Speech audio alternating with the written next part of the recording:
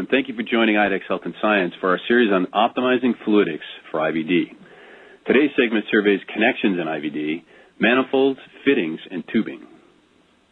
Today we have a number of product experts with us from IDEX Health and Science, as well as a guest, a design engineer and system developer in IVD, and our format for this program will be a brief overview and introduction of the participants, followed by a roundtable discussion. That will last approximately 20 minutes, after which we'll answer questions sent in from those of you listening on the phone, and you can begin keying your questions anytime into the box provided. If you're viewing this program as an on-demand webinar, you will hear the question from the original webcast, and later in the program, we'll give you an email address to send us any questions that you may still have. We'll ask three quick survey questions throughout the program, and we'd like to hear from you what you're looking for on the subjects of fluidic systems and fluidic optimization. Take a moment now to go around the room and introduce each participant in today's webinar. You'll also see on your screen some additional details about each person's fluidic experience and product specialties. Our guest today is John Minulo. John's a mechanical engineer and system developer for several instrument platforms with more than 25 years of experience. Currently, he's the principal consultant at Fluidics Design Incorporated. Brad Besse is the VP of Business Development for IVD at IDEX. His background includes deep familiarity with Sapphire Engineering precision dispense pumps from IDEX. Darren Lewis is a scientist, and Darren manages research and technology development for IDEX Health and Science. Caitlin McEachern is also a scientist and product manager. She'll address our health and science connection specialties, manifolds, fittings, and tubing for diagnostics. Mechanical engineer Jeff Stokes has extensive experience designing fluid handling hardware from atmospheric liquid handling robots to UHPLC pumps and valves. Here at IDEX, Jeff leads our system integration projects. I'm Bob McCarthy, R&D Director at IDEX Health and Science. Throughout my career, I've worked in a range of instrumentation from cell culture systems to drug discovery systems in regulated environments. I'll be your moderator for all five segments of our series of webinars, Optimizing Fluidics for IVD. If you need to sign up for the remaining programs, one each month, visit webinar.idex-hs.com, or you can catch them for later playback, and I believe we'll have them available for download as podcasts as well. One quick note before we get started with our roundtable discussion. We want these discussions to be open and informative for the engineers who are our customers. But that said, because we deal with innovative, often patent pending scientific technologies, we're bound by non disclosure agreements. That means we won't be able to give you the exact name of recognizable partners or platforms. We'll just refer to them generically as a leading hematology manufacturer, for instance, or a life science assay instrument. The stories are real. The names have been changed to protect everyone. Let's ask a survey question. What style of tubing connector do you use? Flexible tubing and hose barbs? Flared tubing with threaded fittings? Fittings with ferrules? Or another option?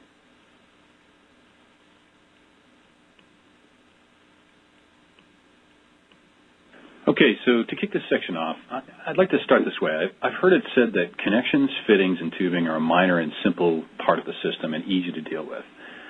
Actually, our experience has challenged that notion.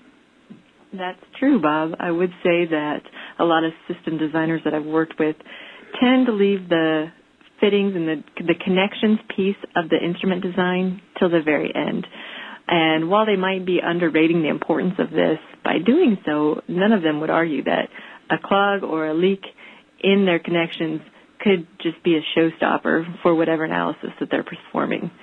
Um, it seems that typically these designers will go back to whatever was used on the last platform that they developed or um, what they've been used to for years. That could be a barb type of fitting with flexible tubing, or it could just be flared tubing um, with a quarter 28 style connection. But what's been most exciting for our team of engineers that are working on tubing assembly development with our customers is when a customer comes along with a particular challenge. And I have one in mind actually where a customer was trying to fit a large number of tubes in a very small, tight, compact area. And so we were able to introduce them to a much smaller thread pitch on their fitting connector.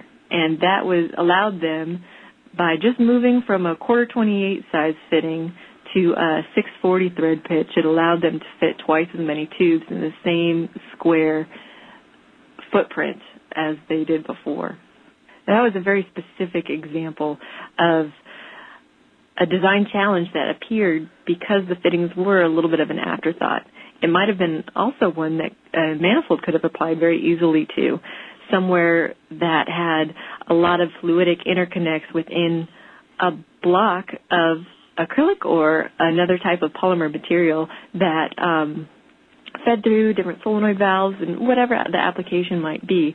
And oftentimes a manifold can move around a space constraint, unlike tubing and fittings ever can.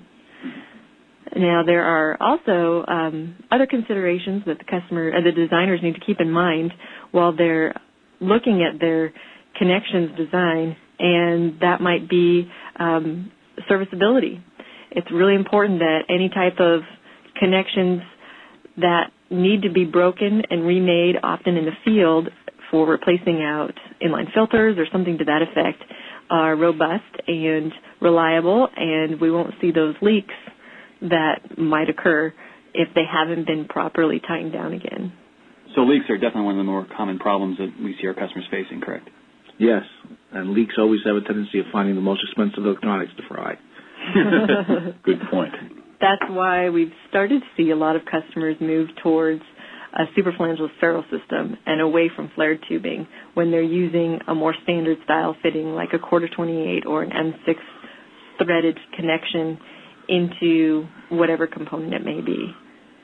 A superflangeless fitting has some obvious advantages that our customers are realizing. It doesn't twist on the tubing as they tighten it down. It doesn't back out during vibration when the instrument's vibrating, moving around. And the superflangeless has a separate ferrule that clamps on the tube, right? Correct. Instead of having a flange on the bottom? Right, exactly, which makes it a little bit more easy to repair in the field as well, where more makes and breaks of the connection are, mm-hmm. are allowed or, or are enabled by having this ferrule. Am I right? That is absolutely right. That's a big deal. Right. We've had actually a we worked with the customer to do some pressure testing after uh, repeated cycles of making and breaking, and we found that the superflangeless ferrule fitting combination won out over a flared tubing connection every time. So now, are people I mean, I know we do a lot of work just supplying tubing fittings, but also a lot of the areas where we've grown in recent years has really been in tubing assemblies.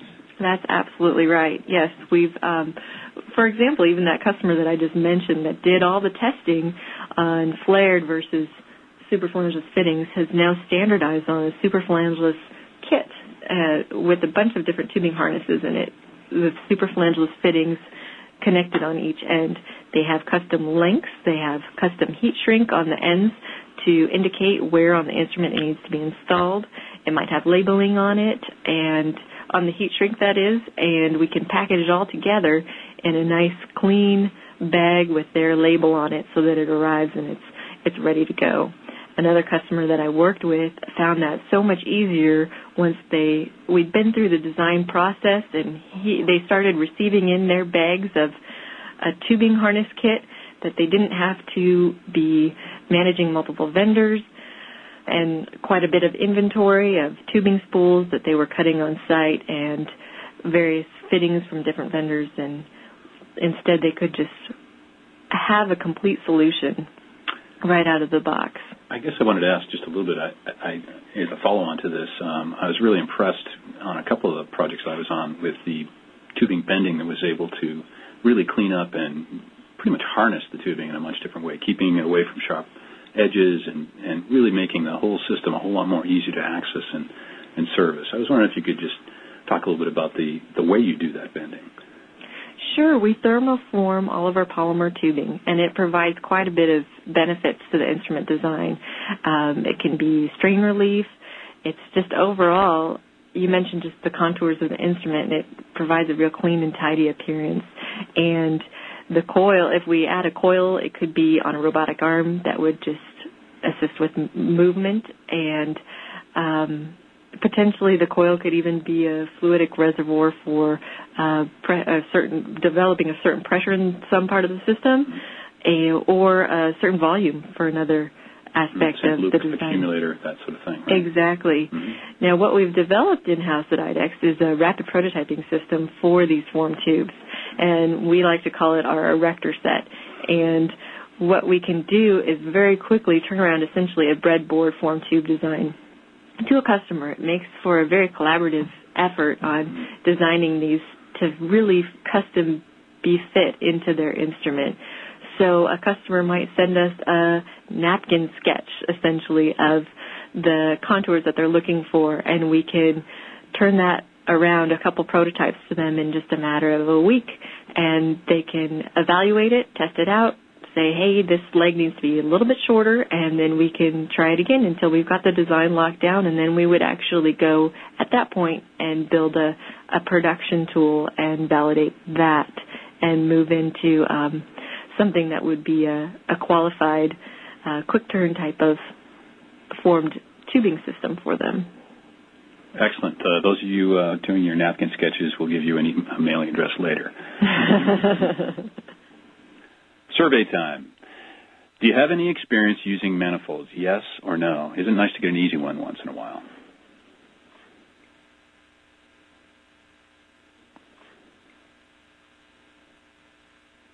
So why not use a manifold in, in some of these situations? I mean, we sell a lot of manifolds. Uh, we have you know a 30 year experience in developing and manufacturing and designing manifolds for IVD instruments. You know, when would a customer use manifolding versus um, uh, a lot of tubing or tubing assemblies? What are some of the trade offs that you get?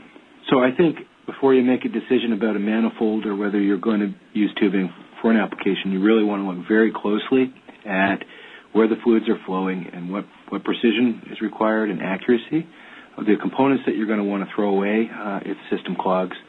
A variety of other uh, factors like that probably need to be taken into account. Manifolds often make a very good choice um, for for applications where um, you want to reduce the complexity of a tubing kit. Um, tubing can be very handy though if there's a section of um, flow path that will get clogged and you want to simply throw something out that's relatively inexpensive and, and pretty easy to reinstall. So here's what's great about working on some of these projects from where I sit. You know, we have both tubing and fittings for connection, and we have manifolds, and we have customers that have somewhat sophisticated flow paths, and they have to integrate with, you know, very intimately with a set of optics, sometimes with a flow cell.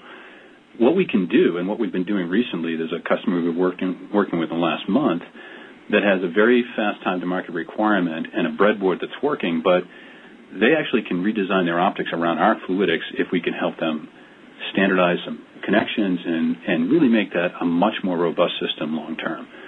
And we, what we've done is we've given them approximately 12 options of, you know, increasing complexity of manifolding that reduces connections and therefore chances for leaks and chances for problems in terms of troubleshooting. And there are trade-offs with each one of these, and we can lay that out very rapidly, literally over the course of days, and have you know be a partner with them to help them choose what's the best best way to go from there when that's not their expertise necessarily.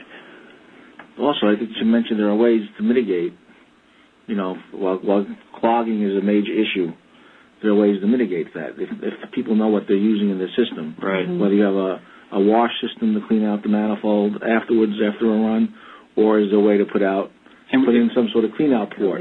That's where knowing what your fluids are, whether you got fiber in them or something that's going to come out of them, but also, I mean, knowing that the if you know that ahead of time, it may be able to be designed into the manifold. And, and that's what we do. So, a generic example, for instance, um, say you have a number of pumps and multiple solenoid valves, maybe some detection optics, and a few other components like a rotary shear valve that that basically is a selector. If if th- those are spread all over the instrument and connected with you know kind of a spaghetti of tubing and multiple connection points that could leak, there's the option that we can put together one or multiples of those. It both brings a lot of things together that it makes it easy to troubleshoot. You could have, you know, a bank of connections that are color coded or labeled. But more than that, you, you basically can organize the system and optimize flow path and, and it brings you into a realm with a partner that can do much more than just buying parts off the shelf and having to integrate them yourself. And what also comes from this is you now have a complete assembly, fully tested, mm-hmm. instead of having multiple stocked parts in your in your warehouse that you're going to assemble. This comes directly from IDEX yeah.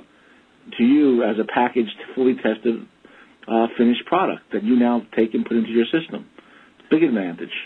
All right. For instance, um, you know, I'm thinking of a, a, generic application where you have, say, multiple pumps and solenoid valves, maybe a rotary shear valve with a selector in there. um, and, and other you know, elements that may be in you know, connection to the optical system of an instrument, for instance. There's an opportunity there to have us, uh, IDEX, basically offer, you know, say 10 alternatives of increasing, you know, uh, various levels of, of integration so that you can have the solenoid valves integrated with a pump head. You could go beyond that and have all of those integrated with a, sh- a rotary shear valve that's manifold mounted, for instance you know, the choices and the trade-offs you can go over on paper in 2D well before you have to make any decisions about prototyping or cost. And we can do that, you know, we can do it umpteen times. We can iterate that design with you many, many times and then provide you a breadboard in a very quick turn fashion and have you validate that in your system. So, Bob, maybe you want to just talk about why a customer may want, you know, in some sense, certain circumstances, you know, a larger integrated single manifold versus kind of more smaller modular manifolds, um, what the benefits might be. Sure. More tubing. Yeah. I mean, the the easy and obvious benefits are that you have fewer connections. Right? You can uh, sim- a lot like what we talked about in terms of density of connections, bring everything together and have sort of a, a place where all connections are made, easy to service and troubleshoot. So those are more obvious. But there's more subtle areas there where we can we have diffusion bonding. We have many different techniques for putting together man- together manifolds, and it can improve the flow path. It can reduce the problem with connections that you have dead spots in places where things clogs could occur, that sort of thing. There's options there that you know if it's the you know it's not one size fits all, but it is an option for designing a flow path that can optimize um, for removal of clogs and dead volume and that sort of thing, and certainly uh, improve reliability. So one example I can give of where we've used manifold technology is to help improve the performance of an instrument. Um, we worked with one of the leading hematology instrument designers in the U.S. and actually did a lunch and learn at their facility where we came down with our group of engineers and we did kind of an educational seminar of capabilities and what we can offer.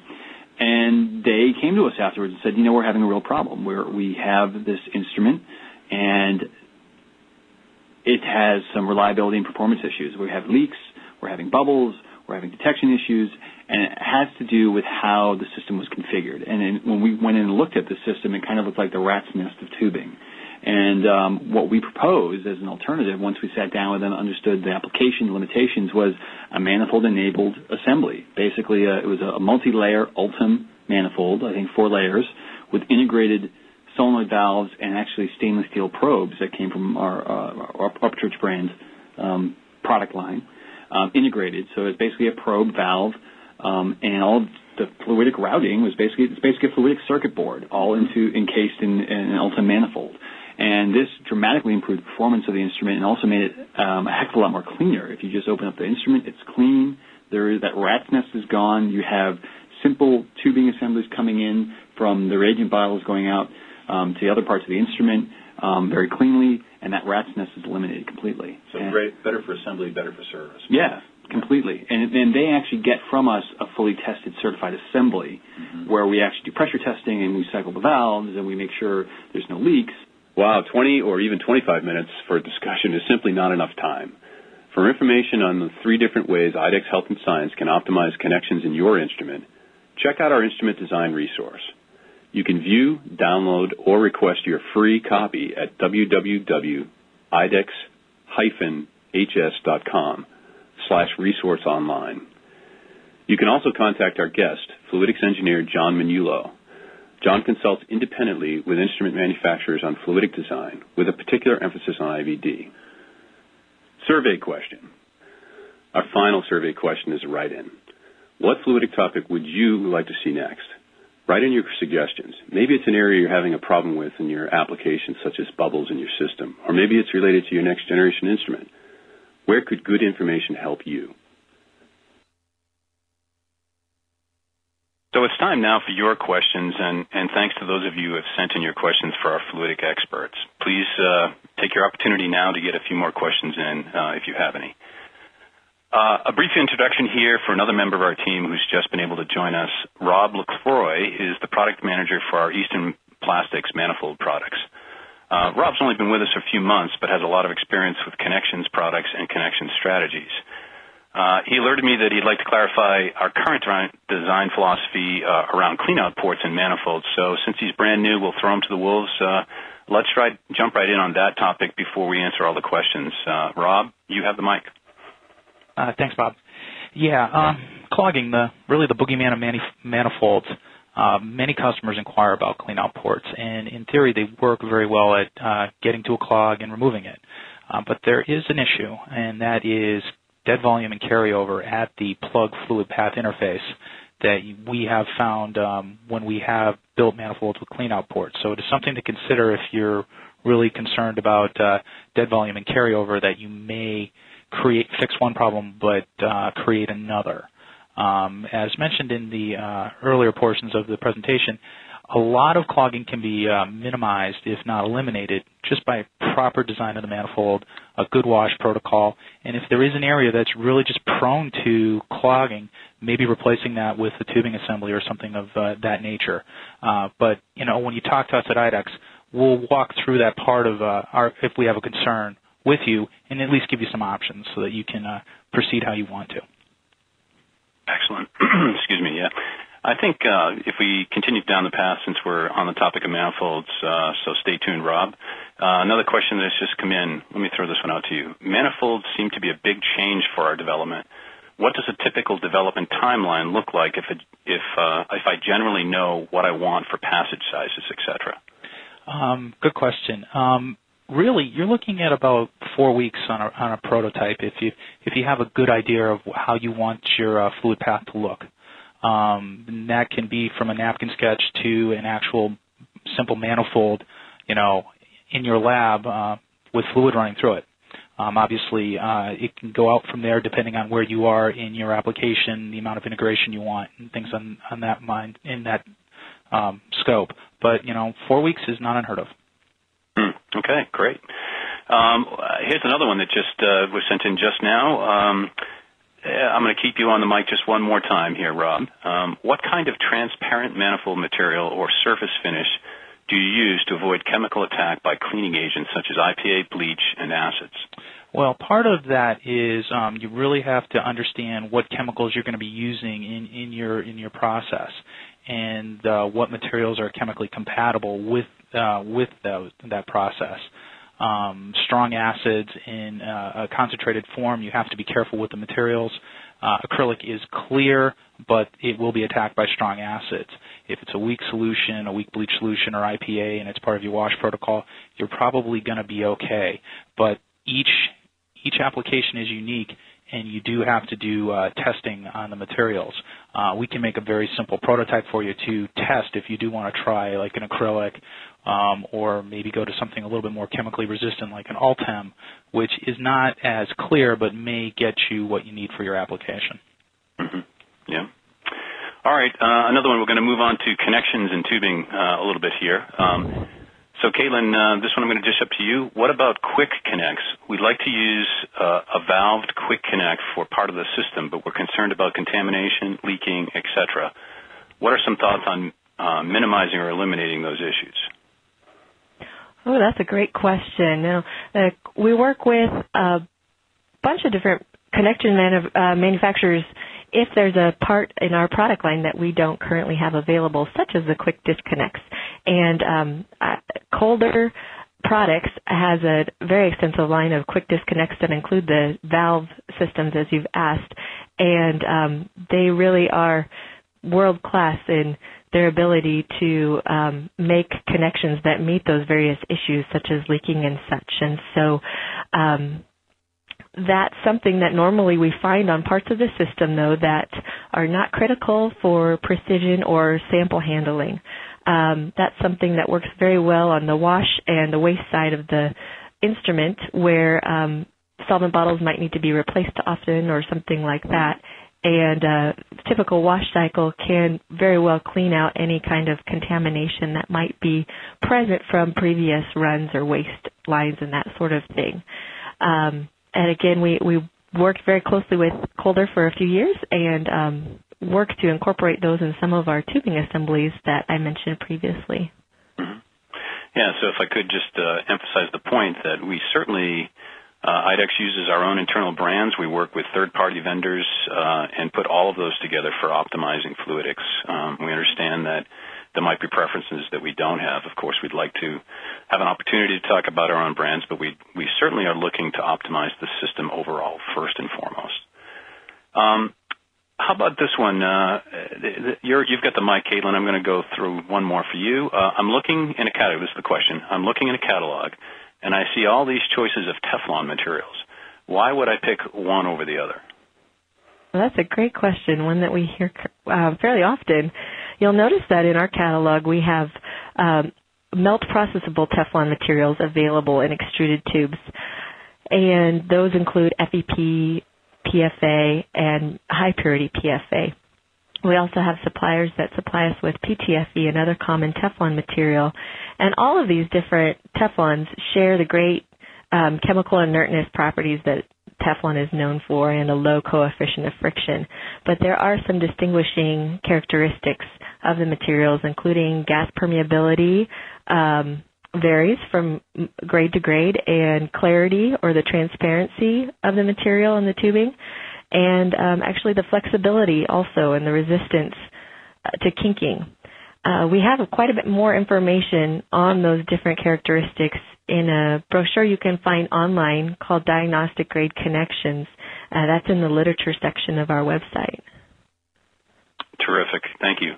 Mm-hmm. Um, let me throw this one out. I, keep keep your questions coming. We've got a few more minutes. Um, here's one for you, John. John Magnolo. Uh, I understand that proper connections are critical, but aren't the port sizes already specified the, by the pump and valve manufacturers?